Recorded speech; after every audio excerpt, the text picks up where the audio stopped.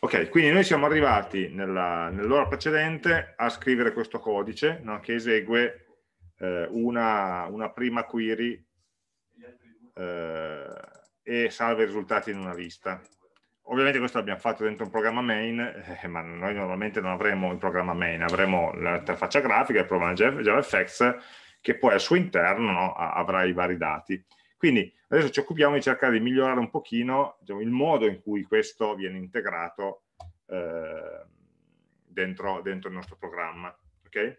Quindi vediamo qualche dettaglio in più, su, su suggerimento in più su come eh, gestire le cose. Allora, prima avevo forse saltato ok um, noi abbiamo fatto una query come questa che era una query molto semplice ok? Il, la caratteristica di questa query è che non aveva nessuna, nessun parametro era sempre questa ok? Eh, ma immaginiamo invece che il nostro programma ci chieda di dire ma senti ma quanti se io ti scelgo una forma di UFO quanti sono eh, gli avvistamenti di quella forma lì? Allora avrei una query del tipo, prendiamolo interattivamente, dove è andato a finire ID che si è spostato di schermo, ok? Avrei un'altra query del tipo, magari mh, conta, eh, io voglio contare select, eh, che asterisco from sighting,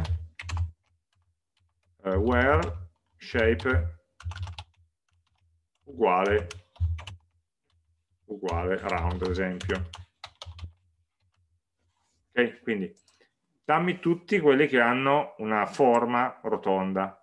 Round era una delle, era una delle forme precedenti, no? Ho preso questa perché ce ne sono solamente due. Poi magari non voglio sapere quanti sono, ma mi interessa solamente, cioè non voglio sapere quali sono, ma mi interessa solamente sapere quante righe ci sono, ok? E quindi avrò due. Quindi è una query che, data una forma, round, eh, mi dice quanti ce ne sono. Poi se io invece cercassi un circle, eh, magari mi dice che ce ne sono 7000, no, sono mo molto più avvistamenti di cerchi che non rotondi, che non sfere. Va bene. Cosa succede? Che questo, questa parolina qua arriva dall'utente in qualche modo, sarà l'utente che mi dice qual è la forma che vuole. Quindi io dovrò inserire dentro la mia, la mia query in Java una stringa che arriva dall'utente stesso. E il primo tentativo potrebbe essere una cosa di questo genere, adesso lasciate perdere che la, la query qua è diversa, ma avere una query in cui a un certo punto c'è una condizione, vuole sempre essere una condizione where, eh, in cui devo scrivere where eh, la colonna uguale apice, chiuso apice, e in mezzo ci inserisco una cosa che arriva dall'utente interattivamente dall'interfaccia.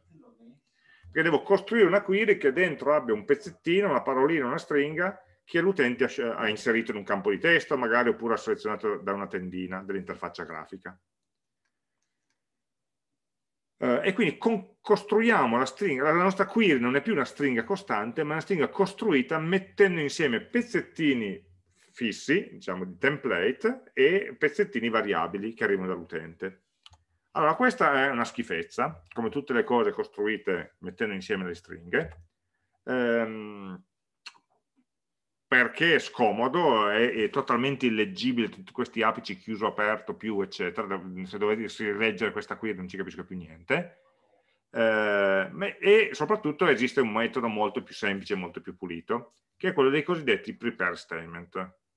Quindi andiamo a vedere subito questo, così andiamo a modificare il nostro programma prima poi di imparare come integrarlo meglio.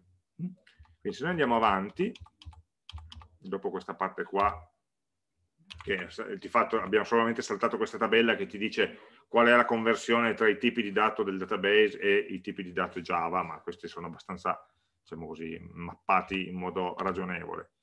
Eh, sui prepare statement, allora, riprendiamo questo esempio no, che c'era nel slide precedente. Supponiamo che da una casellina di testo username eh, l'utente abbia inserito qualche cosa. Okay? E quindi mh, dobbiamo costruire una query che vada a selezionare nella tabella degli utenti del nostro sistema l'utente che ha questo username specifico. E questo è il modo no, per costruire la query concatenando i vari pezzi. Questo modo qua, che è appunto il primo che ci viene in mente, ha tutta una serie di problemi. Il primo di tutti è la, ehm, la sicurezza del sistema. Eh, immaginate che ci sia un utente strano, un po' strambo per carità, che quando eh, gli chiedi nella casella di testo di inserire il tuo username, anziché scrivere il suo username vero e proprio, Pippo, ti scrive questa cosa qua, che io qua ho riportato in blu. Apice punto virgola delete asterisco from users punto virgola trattino trattino. E dici io mi chiamo così, mm? mi sono svegliato un mattino e mi chiamo così. Allora, vabbè, eh, non glielo puoi impedire, nel senso che nella casella di testo lui scrive ciò che vuole.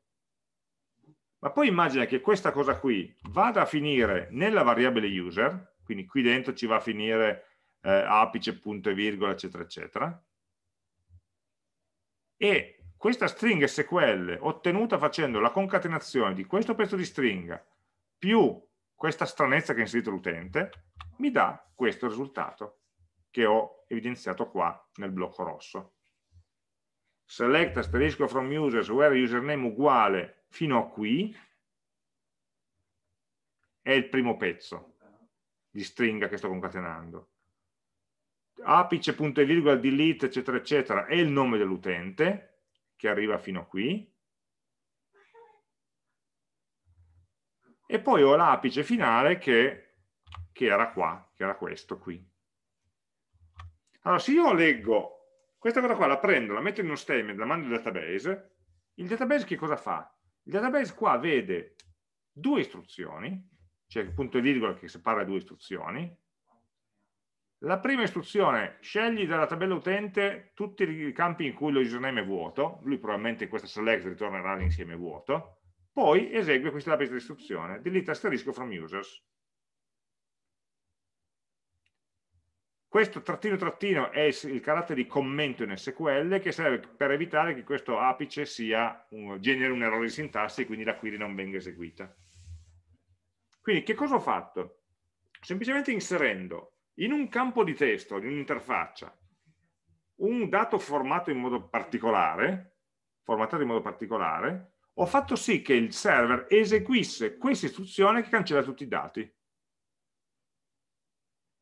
Questo si chiama SQL injection, cioè iniettare al, attraverso dei, delle, diciamo così, degli errori no? di, di, di, programmazione dell'interfaccia utente, delle, superficialità nella programmazione di interfaccia utente, iniettare dentro il programma dei pezzi di query che poi vengono eseguite nel, sul database.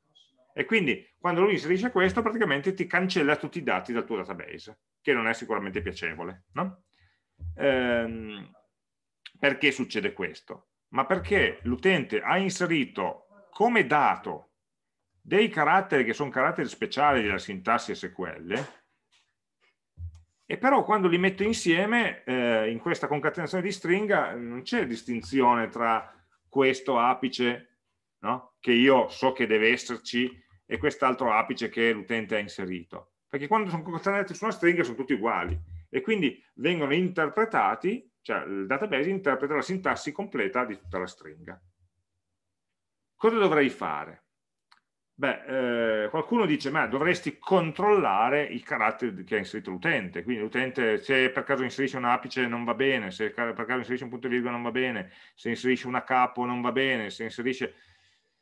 Dovresti, come si dice in gergo, sanificare, adesso siamo abituati a sanificarci le mani, sanificare l'input, cioè cancellare, rimuovere, prevenire nell'input tutti i caratteri che potrebbero essere interpretati male però questa è una battaglia persa in partenza perché ci sarà sempre l'utente che scopre un modo più strano di fare una cosa a cui tu non avevi pensato e quindi non avevi controllato, non avevi sanificato. Eh, conviene prendere invece un approccio diverso, cioè dire ok, i dati inseriti dall'utente non sono mai affidabili, non vado mai a controllare cosa c'è dentro, ma farò in modo che non possano, diciamo così, essere usati in questo modo. Non devo mai mescolare le mie query con i dati dell'utente, perché sennò no, rischio di creare problemi. Beh, poi ci sono un po' delle vignette, tipo questo tizio qua che pensava di sfruttare questo per eh, se per caso lo catturavano con l'autovelox, nella lettura della targa prova a fare, eh, diciamo così, SQL injection dentro l'autovelox, cancellando le tabelle. Non so se funzioni, poi ci sono varie eh, anche vignette come la tizia che ha scritto il figlio a scuola con un nome eh, drop table students, sempre col apice punto e virgola, e, e dalla scuola si sono lamentati che tutte le volte che eh, inseriscono il suo nome cancellano tutto. Vabbè, ma queste sono battute che però non ci devono far perdere la, diciamo, la nozione che comunque accettare i dati che arrivano dall'utente possono essere sempre pericolosi, soprattutto se poi io li uso per fare una query su un database con i privilegi miei della mia applicazione su quel database lì. Ehm, poi ci sono anche delle altre ragioni di prestazioni, ma questo se vogliamo ci interessano molto meno. La soluzione è qual è? Arriviamo direttamente alla soluzione. La soluzione è non usare la classe statement di JDBC, che è quella che abbiamo visto prima, ma usare una classe separata che si chiama prepared statement. La prepared statement eh, funziona in modo leggermente diverso, ti permette prima di creare uno statement e nella creazione di questo statement puoi definire dei parametri, quindi puoi creare, definire una query parametrica e poi nel momento in cui la eseguirai potrai fornire il valore di questi parametri. Quindi il valore dei parametri, tipo la forma dell'UFO, non viene più ehm, iniettato, concatenato dentro la stringa, ma la stringa è pulita e poi a parte c'è un metodo separato che dice guarda il primo parametro assume questo valore. Questo fa sì che al database arrivino separatamente la stringa e il valore, con una modalità interna che non ci interessa, e quindi questo valore, anche se contiene dei caratteri speciali, non potranno mai essere confusi per dei caratteri di controllo della stringa della sintassi SQL, proprio perché arriva, diciamo così, con un comando separato. E quindi non, non, il database stesso non, non confonde la cosa. Non creiamo mai una stringa unica che mette insieme pezzi di codice nostro, pezzi di SQL nostro, con pezzi di, di dati dell'utente. Tra l'altro la cosa carina è che questa operazione qua eh, fa anche tutta una serie di conversioni di tipo automatico, perché finché il parametro è una stringa va bene, ma quando fosse un intero tu devi stamparlo, convertirlo in string, se fosse un oggetto devi chiamare il toString giusto, eccetera, eccetera. Mentre invece questo viene fatto automaticamente dall'oggetto prepare statement. E se ci sono dei caratteri, diciamo così, pericolosi, vengono auto automaticamente, eh, diciamo così, o, o eliminati o comunque trasformati. Oh, tra l'altro, anche senza voler fare cose cattive, ma se uno ha il nome che finisce con l'accento, eh, l'apostrofo l'accento, e questo qua già, già, di per sé no? Eh, creerebbe dei problemi con la query, perché ci sarebbe un apostrofo che potrebbe essere confuso come, come il carattere di fine stringa in SQL. E, quindi anche per cose semplici, senza andare a pensare a diciamo, gli utenti maliziosi, eh, ci possono essere dei caratteri che eh, scritti in una query SQL devono essere trattati in modo particolare mm. e quindi tanto vale usare questo meccanismo di prepare statement. Come funziona? È molto semplice, quando io definisco la stringa, se ho dei parametri che devono essere quindi dati che devono essere forniti dall'utente più avanti, allora eh, al posto di questi parametri metto un punto interrogativo Attenzione, non metto gli apici, eh, non è apice punto interrogativo apice, questo no, perché questo inserirebbe un parametro che ha la stringa uguale al singolo carattere di apice. No, semplicemente un punto interrogativo normale. Gli apici, se ce n'è bisogno, li aggiunge da solo, se li aggiunge lui. Quindi questo è la, il template, il modello della query che vogliamo fare. E quindi creo, quando creo uno, uno statement, non uso l'istruzione create statement, ma uso l'istruzione prepare statement, che vuole già l'informazione su qual è la query, il modello di query da eseguire. Quindi è una query fatta a metà. C'è già la struttura, mancano dei parametri. Al posto dei parametri ci sono dei punti interrogativi. Attenzione che i parametri possono essere usati solamente per i valori, non per i nomi delle tabelle, non per i nomi delle colonne. Okay? Solamente per i valori costanti che uno ci mette nelle, nelle query. Poi, prima o poi, questo statement dovrò eseguirlo, execute, execute insert, execute update, eh, scusate, execute query, no, i vari metodi execute che abbiamo visto. Quelli di statement sono uguali a quelli di, di, di, di quelli prepare statement sono uguali a quelli di statement, no? stessa cosa. ma chiaramente prima di eseguirla dovrò dare un valore specifico a ciascuno di questi parametri. E come lo faccio? Lo faccio con dei metodi set, sullo statement, sul prepare statement. Quindi gli dico, guarda, il, eh, questo metodo set ha due parametri. Il primo è il numero d'ordine del parametro, quindi uno si riferisce al primo punto interrogativo, due si riferisce al secondo punto interrogativo che c'è nella query e così via e dopo segue il valore specifico da inserire, da sostituire a questo parametro. Questo valore sarà un oggetto, sarà un intero, sarà una stringa, eccetera, e viene trasferito in modo eh, sicuro, safe, al, al, server, senza nessun rischio o problema di, di, di, di gestione errata della sintassi. Ok? Quindi non è particolarmente più complicato questo metodo, eh, ma ci risolve moltissimi problemi di, di, di, interfaccia, moltissimi problemi di sicurezza, in parte anche problemi di prestazioni eh, e quindi eh, noi lo useremo sempre, ok? Quindi anche su query semplici che non abbiano parametri, a questo punto abbiamo preso l'abitudine e usiamo i prepare statement sempre. Eh, e quindi nel nostro codice già possiamo già subito modificarlo, ma come vedete sarà una cosa da nulla, anziché uno statement creiamo un prepare statement dove il metodo da usare non è più create statement ma è prepare statement. La differenza è che, allora chiaramente devo importarlo, questo qui, prepare statement già vuole l'SQL come parametro, quindi questa stringa SQL la devo già definire sopra.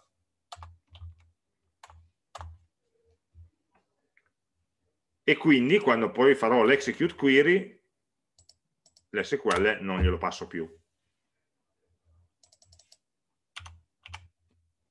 Ok? Quindi ho semplicemente cambiato l'ordine. La stringa SQL non la passo al momento della query, ma la passo al momento della preparazione dello statement. L'unica differenza. In questo caso questa query non ha dei parametri, è sempre lei uguale, costante, e quindi non ho bisogno di, eh, di inserire dei punti interrogativi. Ma se volessi fare una seconda query in cui appunto dicevamo vado a vedere il, il numero di, di, di UFO di una certa forma, lo possiamo fare, lo possiamo fare qua sotto, quindi definiamo una stringa eh, SQL2 uguale, andiamo a prenderci questa qui, select count eccetera eccetera, eh, possiamo anche scrivere su una riga sola, tanto questa qua è breve, così non abbiamo problemi di a capo, e al posto di shape uguale circle mettiamo semplicemente punto interrogativo, attenzione, senza gli apici, queste virgolette qua semplicemente sono le virgolette di Java e non sono quelle del SQL. Quindi questa è una query parametrica in cui la shape è lasciata indicata. Mm? Noi supponiamo che magari il nostro utente eh, abbia scelto shape scelta sia appunto round. No, sì, round. L'ultima che abbiamo fatto era round? No, circle dove c'erano tante. Però questa è semplicemente una stringa che potrebbe arrivare, ops, pardon, in Java servono gli apici doppi, che potrebbe arrivare dall'interfaccia utente, da una casella di testo, eccetera, eccetera. Allora, per fare questa query cosa farò? Eh, mi faccio preparare uno statement, statement 2, sempre della stessa connessione, perché la connessione è una sola, su questa stessa connessione posso far viaggiare diversi statement, no? il tunnel è uno solo, possono viaggiare diverse navette. Eh, se vogliamo mettere statement 2.close, se voglio fare la persona ordinata, e in mezzo eseguo l'istruzione, quindi result set, result set 2 uguale statement 2.execute query e come vedete execute query in questo caso non ho bisogno di specificare un SQL. Ma prima di eseguire la... Eh, okay. Se io provassi a eseguire questo, vediamo subito un'eccezione che salta fuori, mi direbbe parameter at position 1 parameter at position 1 is not set. No? Noi ho tentato di eseguire una query parametrica che contiene un parametro senza aver impostato il valore di tale parametro. Perché questa query è una query incompleta. Devo dire che il valore del primo parametro è uguale alla shape scelta dall'utente. In questo caso l'ho messa come costante perché siamo in un programma di prova, ma e quindi eh, dobbiamo, dopo che ho preparato lo statement e prima di eseguirlo, impostare il valore del parametro. Quindi statement 2.set. Questo è una stringa, string, il primo parametro con, vabbè, shape scelta.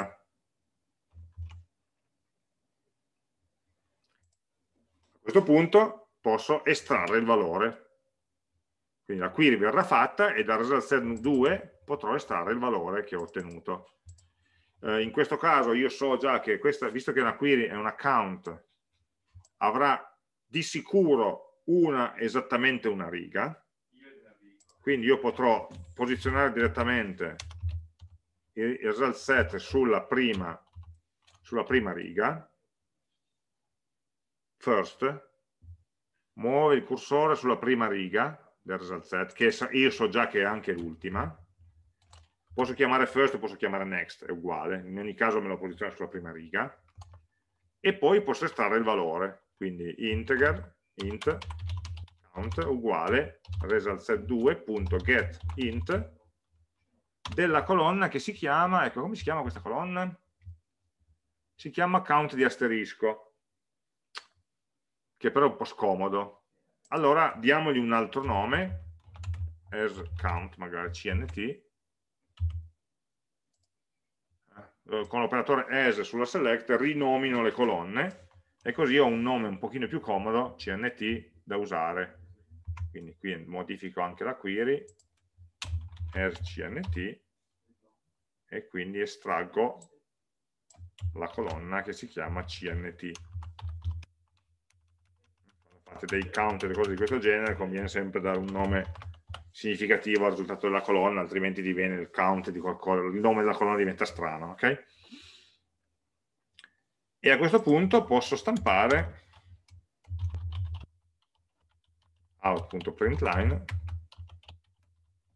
eh, che abbiamo che UFO di forma eh, quanto sono shape scelta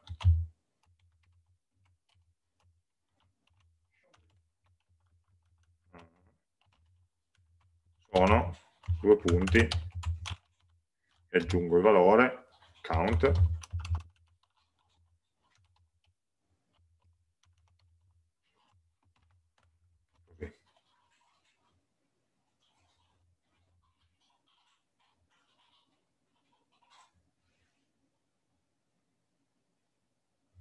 Ok, proviamo a eseguirla, poi riguardiamo insieme le varie linee. UFO di forma circle sono 7607. Allora, cosa abbiamo fatto? Volevamo eseguire questa query. Questa query ha dei parametri.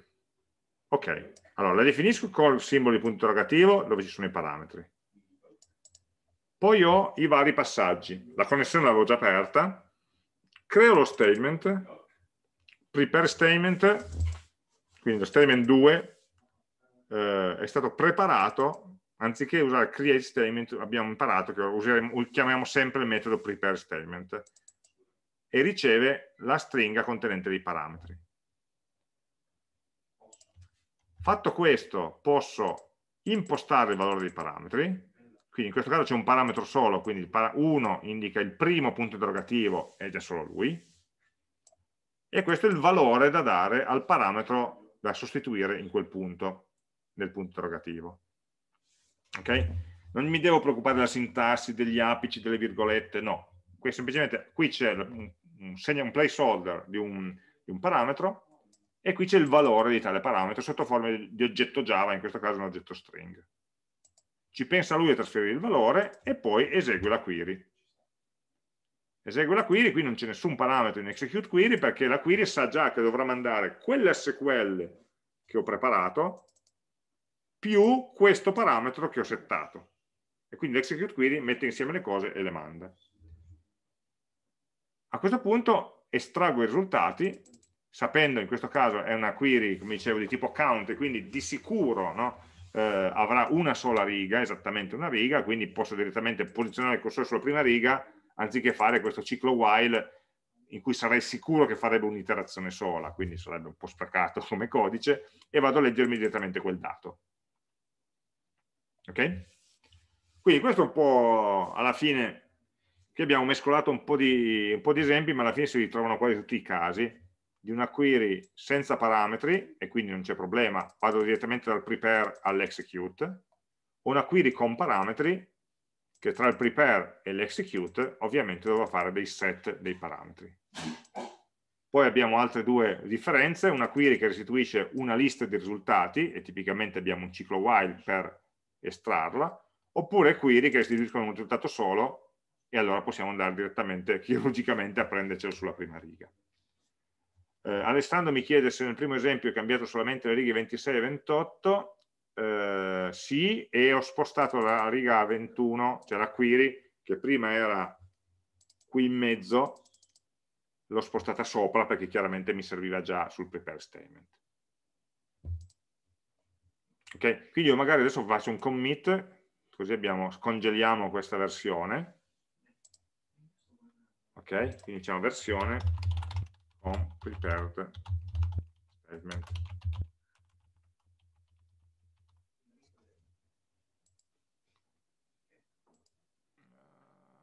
sì, mi sono dimenticato di salvare prima di fare commit, ok.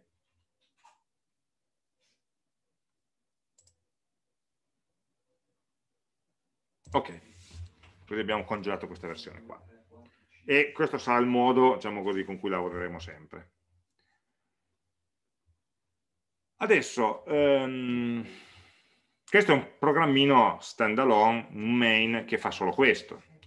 Come facciamo queste operazioni qua a integrarle nel nostro, nel nostro programma grafico, nel nostro programma JavaFX?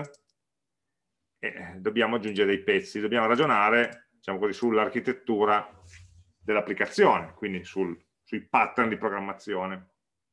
Allora, per quanto riguarda l'accesso al database, si usa un pattern, si usa chi vuole ovviamente, no? però diciamo così, noi, il nostro suggerimento è usare un pattern che si chiama DAO, che sta per, eh, la faccio breve dove è andato a finire, Data Access Object, DAO.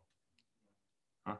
Questo ci risolve una serie di problemi eh, che in qualche modo separano tutti i metodi di accesso al database che alla fine devono fare i conti con la libreria JDBC, quindi con tutti i meccanismi delle eccezioni, non eccezioni, lo statement, il result set, eccetera, eccetera, eh, che è molto specifico, sarebbe bello separarlo rispetto al resto dell'applicazione.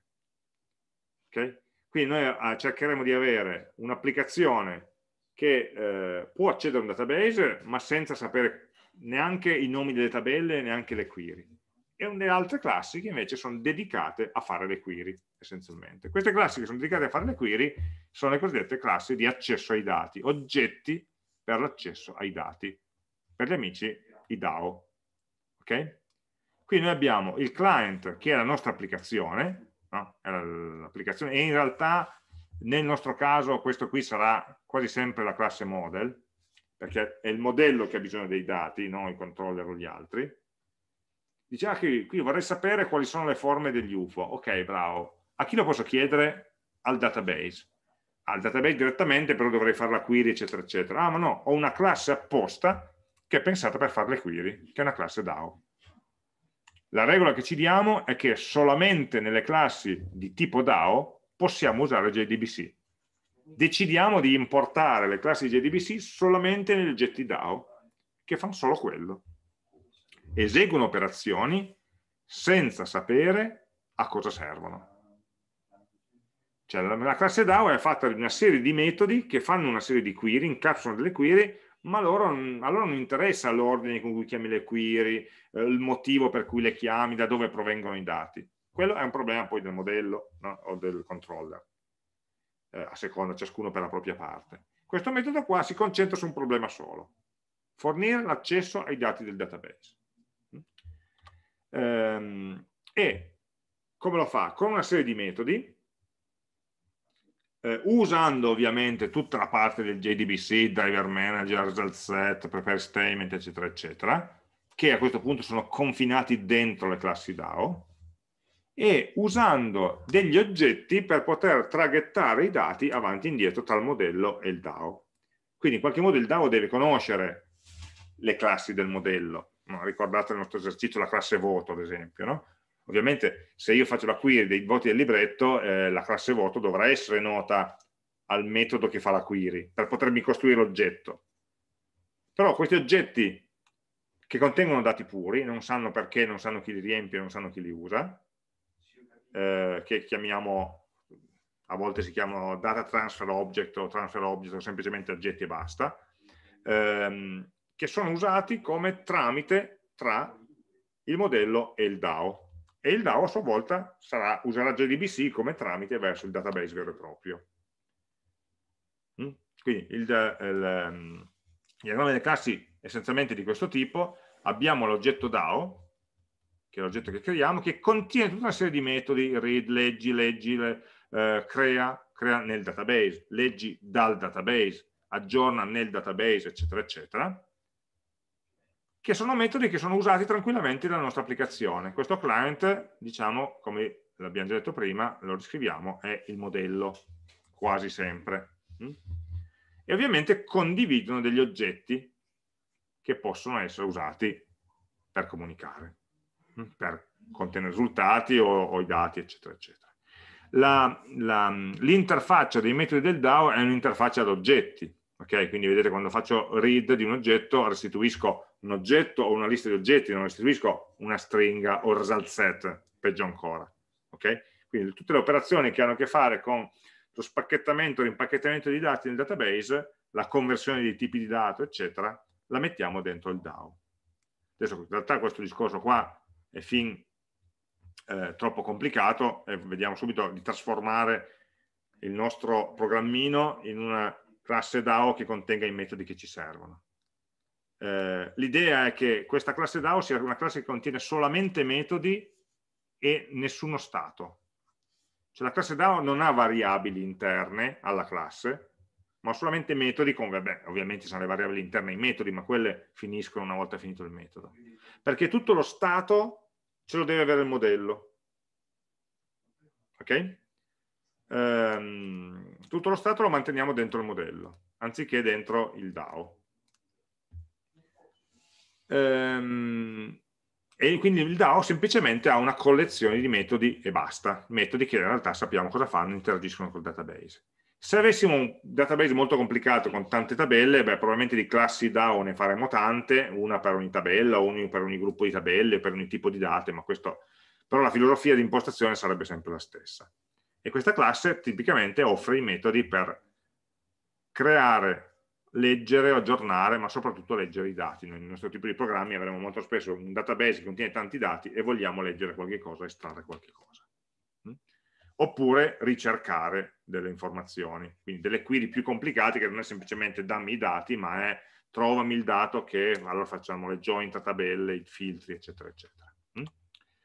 Um, vabbè, su questo vediamo dopo. Proviamo a trasformare quindi il nostro programma creando non una classe testDB, ma a questo punto una classe, facciamo solo un po' di copia e incolla, specialmente spostiamo solamente i dati una classe che potremmo chiamare sighting DAO.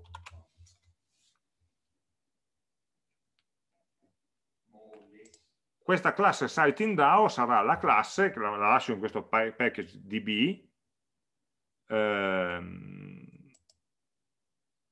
in questo package db, alla classe nel quale metterò i metodi no, appunto, di accesso al database. Eh, Mario mi chiede se, se, posso dichiarare dei metodi statici. No, non è, non è, necessario, anzi è meglio usare dei metodi normali, eh, soprattutto perché a questo punto ti permetterebbe, volendo, di avere una sottoclasse del DAO che magari la specializza ulteriormente con delle query in più. Se nei metodi statici invece non li puoi ridefinire. Quindi no, no, si usano metodi normali, si stanzia quella classe, eh, sapendo che poi in realtà non ha, non ha, stato, però è comunque un oggetto di una certa, di una certa classe. Eh, no, st static lo usiamo il meno meno possibile in assoluto. Allora diciamo, questa classe SightingDAO che avrà come metodo, ad esempio, uno che mi dà l'elenco delle shape, no? l'elenco delle forme. Quindi potremmo chiamarlo public, mi dà una lista di stringhe, uh, read shapes dal database. E poi potrò avere un altro metodo, giusto per impacchettare quelle, quelli due che avevamo, public int count uh, by shape e riceve una shape come parametro. No? Questo potrebbero essere un'interfaccia dei due metodi che abbiamo appena implementato per gioco nel nostro main di prova. Adesso implementiamo solamente questo. E dentro questa classe ci possiamo andare semplicemente a schiaffare il codice di prima, il 90%. Allora, la parte che deve eh, leggere le shape eh, la prendiamo dalla prima metà del programma. Questa qui. Poi la correggiamo eh, perché c'è un po' da correggere.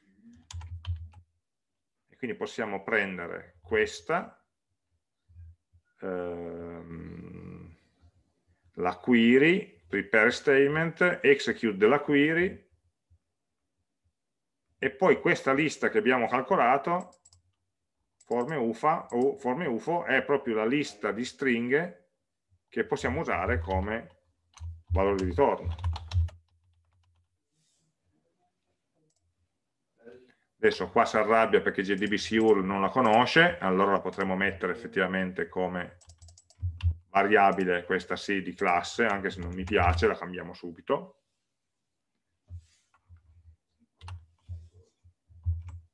E qua ovviamente si arrabbia perché ci sono tutti i try catch da mettere a posto e quindi facciamo un try e il catch lo mettiamo bello in fondo. Così. Uh, CTRL Alt F per indentare. Il CTRL F per indentare. Allora vediamo cosa abbiamo fatto. Read shapes eh, questa connection in realtà possiamo anche mettere qua. Tutto dentro un unico blocco try catch che va a catturare l'eventuale SQL exception. Nel caso eh, in cui tutto vada bene esegue quella query di prima. Poi l'ha formattato male perché è andato, se l'ha rimesso insieme ma vabbè. Quindi a questo punto facciamo che metterla in una riga sola prepare statement, execute query, qui esattamente lo stesso codice di prima, solo che eh, il valore, la lista forme UFO che avevamo creato è il valore di ritorno di questa funzione. Poi c'è ancora un errore che mi dice, attenzione che eh, mi manca il valore di ritorno, in alcuni casi dice, ma perché ti manca il valore di ritorno? L'ho ritornato qua. Sì, l'ho ritornato qua, ma non l'ho ritornato nel caso della SQL exception. Quindi in realtà potremmo dire che in questo caso non dovrebbe succedere possiamo ritornare un null ad esempio per indicare che è andato qualcosa storto. Oppure meglio ancora visto che non ci aspettiamo che, che questo metodo debba generare eccezione normalmente non lo deve fare se no c'è un baco nostro sarebbe bene propagare questa eccezione. Perché se io facessi così e poi ritorno nullo oppure ritorno una lista vuota qualcosa di questo genere c'è il rischio che l'eccezione non vista o non, o non notata, ok? Perché la sto in qualche modo nascondendo. C'è stata un'eccezione, ma vabbè, continuiamo lo stesso. No? Invece uno potrebbe, la cosa migliore da fare qua potrebbe essere quello di dire genera una nuova runtime exception eh, così con dentro la copia dell'eccezione che abbiamo generato quindi in questo, in questo giochino cosa sto facendo? Sto catturando un'eccezione, non so che cosa farci, perché non la so correggere, e quindi ribalto questa eccezione al mio chiamante. Però al mio chiamante non ribalto SQL exception, perché il chiamante non sa SQL, abbiamo detto che non vogliamo che il chiamante conosca nulla di JDBC, e quindi la converto, la incapsulo, la contengo dentro una runtime exception generica eh, che può saltare fuori. Quindi in qualche modo il chiamante o fa lui un try catch della runtime exception oppure l'eccezione verrà poi stampata, bloccherà il programma. Eh, in alcuni casi l'eccezione la possiamo gestire localmente, quindi restituiamo 0, restituiamo null, in questo caso non vogliamo cancellarla. Mm? Ehm, c'è tutto, le import, quando ho fatto copia e incolla Java, eh, Eclipse l'ha già messa a posto, e poi posso fare la stessa cosa per il secondo metodo. No? Anche qua sarà questa cosa qui, la prendo, posso già subito scrivere il mio bel try, così ci metto dentro il codice e catch equal exception e throw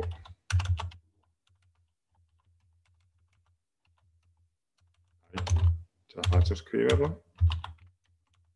Throw new runtime exception. E volendo posso aggiungere un messaggio. Quindi runtime exception potrei aggiungere vedete che c'è un secondo parametro che può essere di tipo stringa. Uh, database error in magari ci mettiamo il nome del metodo rich shapes ad esempio. No, al contrario, scusate, prima la stringa poi l'eccezione. Quindi mi scrivo un, messaggio in più e poi mi scrive tutta la, la traccia dell'eccezione e qui potremmo chiamarlo database error in count shape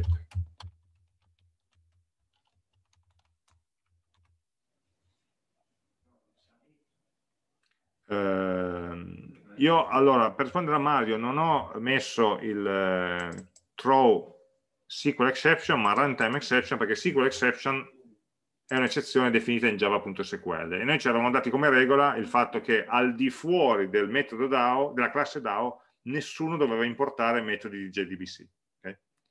e, e, allora lo devo tradurre in un'eccezione normale non legata a JDBC è una scelta nostra eh, però di ordine manca il connection.close, grazie, manca in tutti e due i casi, sia qua, sia qua. In realtà in questo secondo manca anche proprio la creazione della connessione. Quindi posso, devo prendere queste due qua, questa istruzione, e portarmela anche sotto. Ok, ho fatto un po' di refactoring, ho spostato codice da una parte all'altra. Uh, string shape, no scusate non è string shape, era un int, sì. Quindi questo parametro shape è quello che devo usare, non è più shape scelta, lo tolgo, perché non, non inserisco più direttamente, ma lo inserisco così. Ehm, shape è il parametro che mi ha dato l'utente e quindi questo numero intero lo ritorno, return di questo int, eh, int di count. Quindi ricordiamoci di fare connection.close prima di return, perché dopo return ovviamente la funzione muore. Allora, se è così, è molto semplice andare a modificare il, il database di test eh, il database di test eh, usando questi due metodi. Giorgio ti rispondo tra un attimo sulla connessione.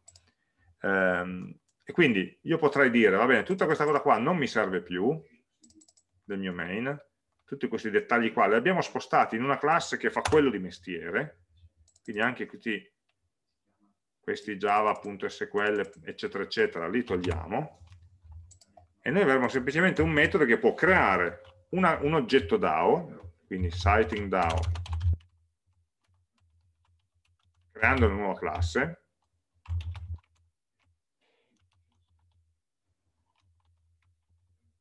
DAO, Ok?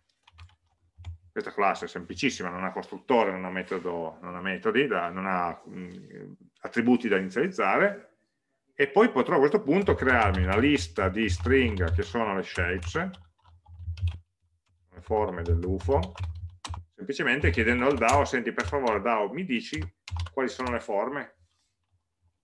E string, no, stringa. E poi magari per ciascuna di queste forme mi dici quanti ce ne sono? Quindi magari per tutte le forme di forme UFO, che è una lista, allora chiediamo, facciamo la query per sapere quante ce ne sono. E quindi potrebbero essere eh, int count uguale DAO, chiediamo al DAO quanti ce ne sono di questa forma. E poi lo stampiamo.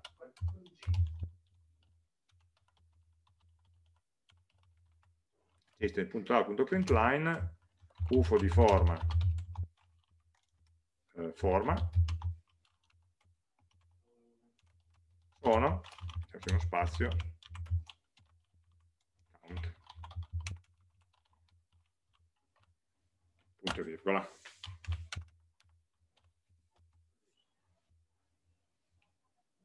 Togliamo il release che non ci serve più. Quindi in questo modo abbiamo un main che è molto molto più pulito, chiama i metodi del DAO metodo, e quindi sa che cosa vuole fare, no? lo scopo è di trovare tutte le forme e stamparle.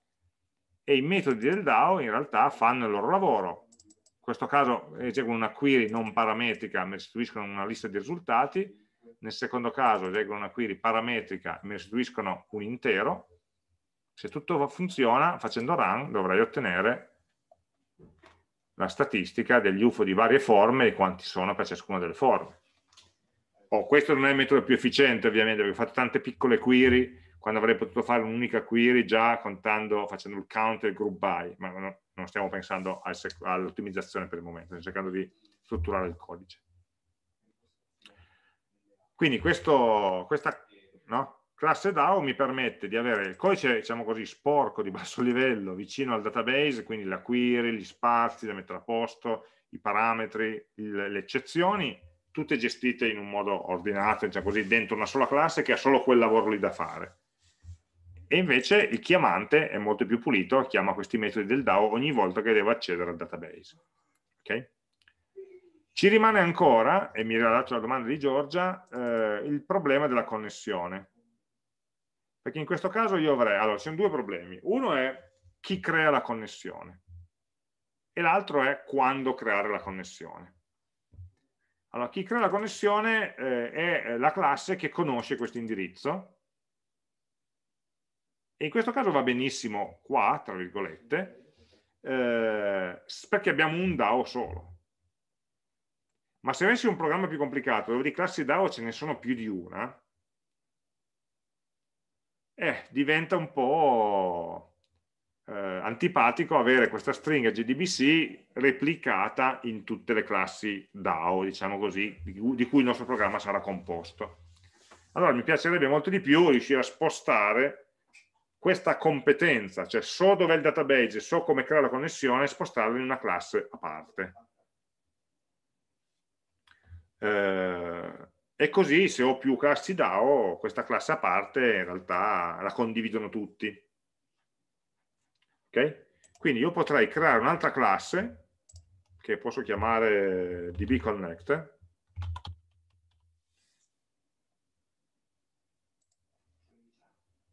che fa quel lavoro lì di conoscere qual è la, la, la, la stringa di connessione, quindi lo sposto di qua, okay? E magari mi fornisce già il metodo per, darmi, per fornire per, ehm, per la connessione stessa. Quindi qui posso fare giocare un pochino e dire va bene, io la connessione non la chiedo al driver manager, che è una classe di libreria, ma la chiedo al mio dbconnect e a questo punto dbconnect sa già qual è l'URL e non te la devo e non me la deve più ehm, specificare. Quindi io definisco un metodo getConnection dentro dbconnect che sarà un metodo public static connection.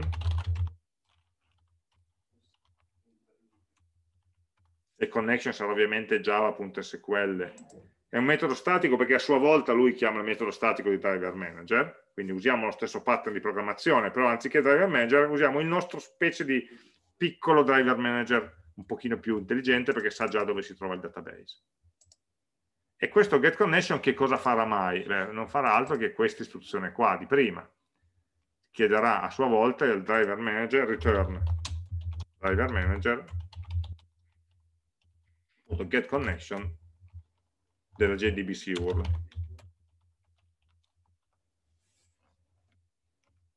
JDBC URL. Ah, devo fare la statica anche qua. Allora, posso direttamente mettere dentro il metodo. Faccio prima. Così.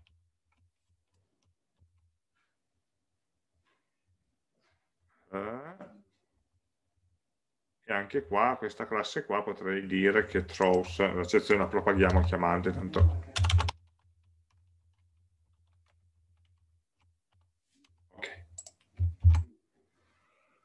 Quindi in realtà cosa abbiamo fatto? Eh, abbiamo semplicemente costruito una piccola classe che nasconde la get connection del driver manager sapendo già qual è la JDBC URL.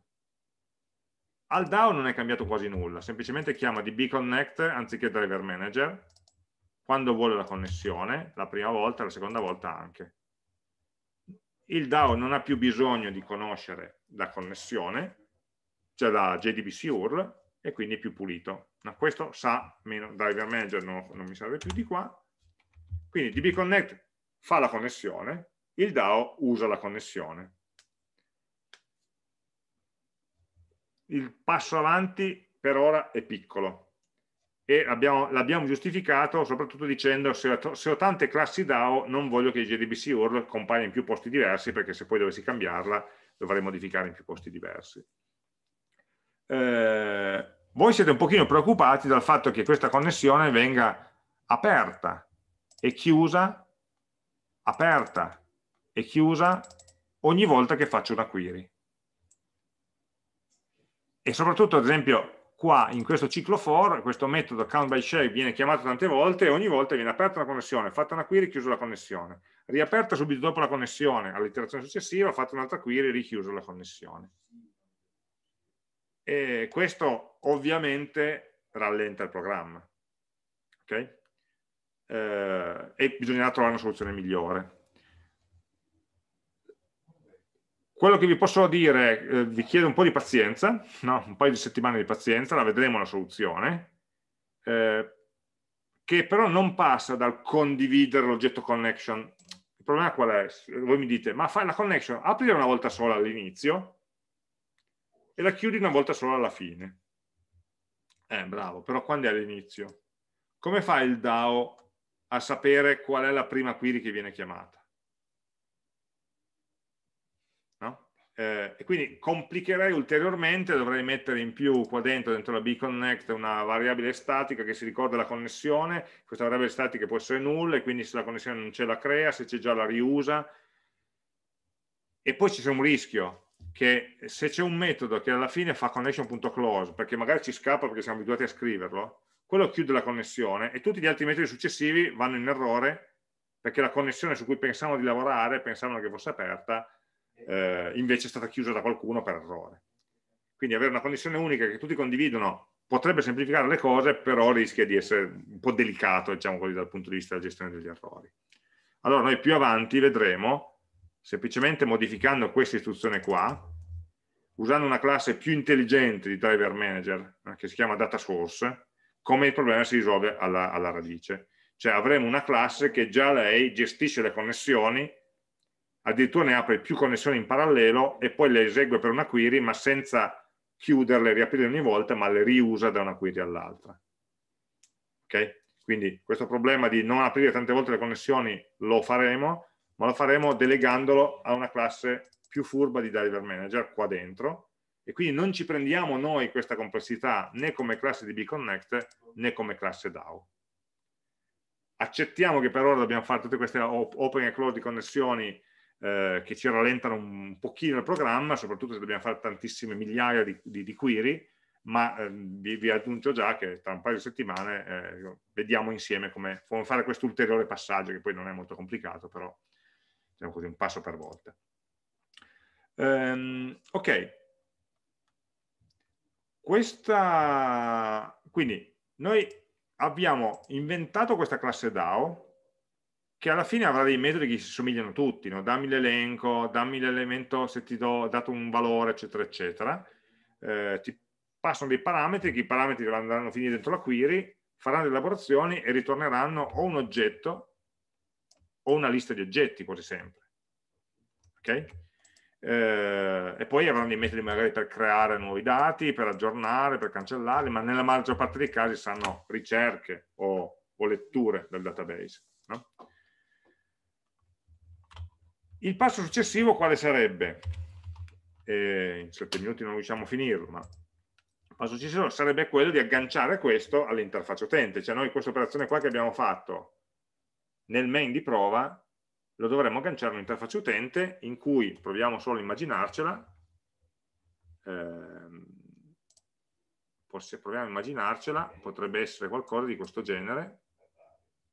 No scusate eh, ho buttato giù Eclipse ma possiamo fare direttamente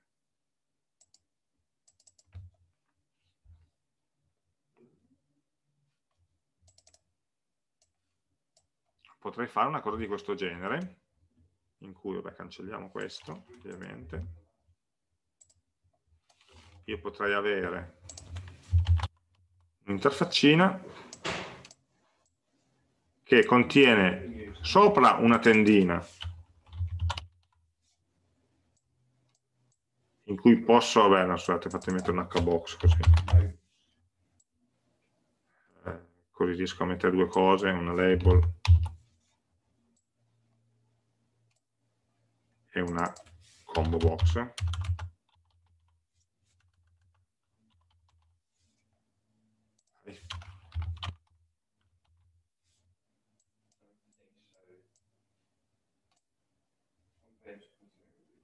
E quindi mettiamo a posto solo le spaziature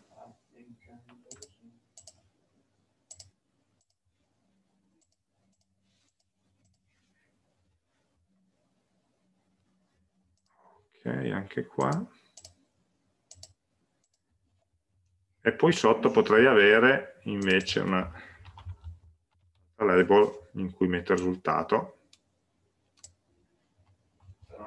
Quindi la prima label sarà forma. La seconda label oppure una text area dipende è il numero, eh, numero di avvistamenti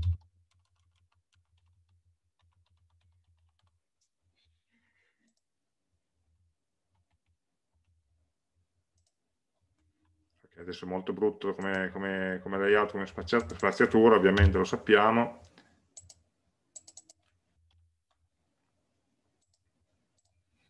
Però avremo una cosa di questo genere, vogliamo fare una cosa di questo genere, c'è una finestra in cui scelgo la forma, quindi questa tendina compaiono tutte le forme degli UFO, e questo lo prendiamo dalla prima query, e poi eh, possiamo avere, mi serve ancora un bottone,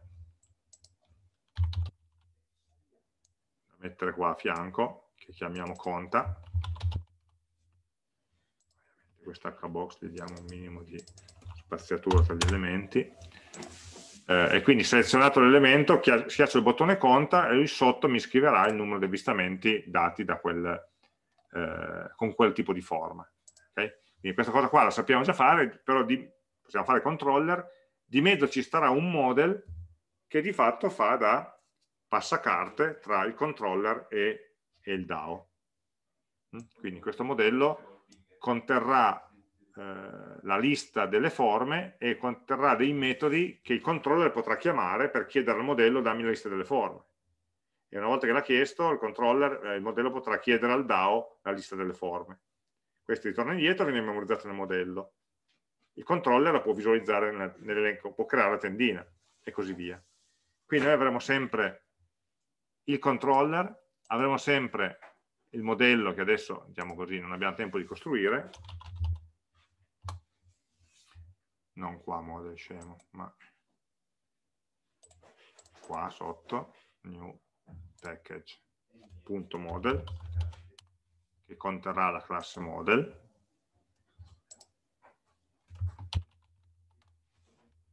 La classe model a sua volta userà la classe DAO, in questo caso sighting DAO. Mm?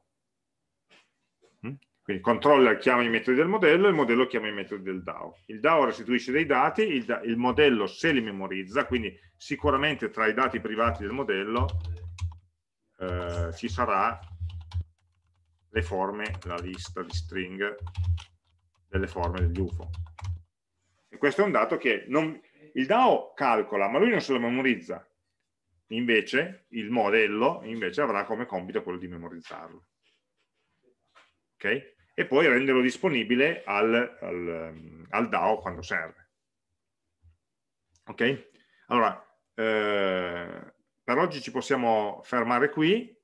Eh, allora, sì, Federico mi chiede come fare a impostare gli item del combo box. C'è una property items no? andiamo a vedere, quindi si fa il nome della combo box punto add oppure add all per aggiungere tutti gli oggetti all'interno hm, della, della, combo box che nasce vuota ovviamente la programmo però c'è un problema di quando farlo quindi un problema un po', un po delicato ecco, di trovare bene quando è il momento giusto però per ora ci arriveremo, no? quindi noi dobbiamo in qualche modo, in questa settimana abbiamo buttato giù un po' di contenuti, parecchi, su come accedere al database e quindi faremo esercizi su questo, e poi come organizzare i dati all'interno del nostro pattern MVC. Ci manca l'ultimo pezzo di collegare il controller al modello. Io eh, adesso vi committo, vi salvo questo diciamo, programma così com'è, e poi in giornata vi salvo sempre nella, nel branch soluzione una versione completa in cui si è agganciata all'interfaccia utente, così potete vedere i passaggi successivi che non siamo riusciti a fare insieme. Okay?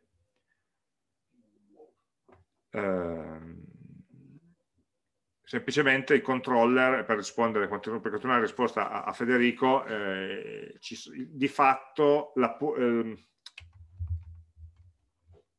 per dire in, in due parole, la, la costruzione dell'interfaccia utente viene completata nel metodo setModel.